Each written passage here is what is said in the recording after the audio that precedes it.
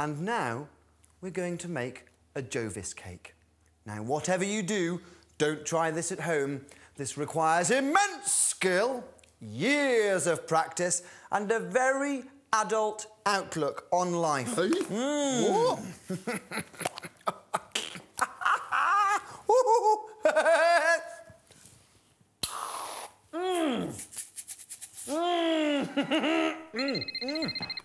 Hello?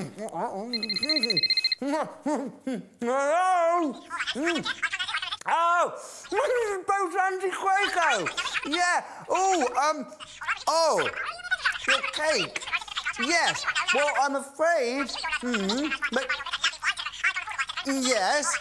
Well, I ate it. Hmm.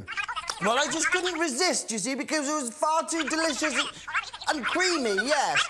The, the children, with the fete. Yeah. Oh, hmm. Well, well, if I. Fine, this is supposed to. Yeah.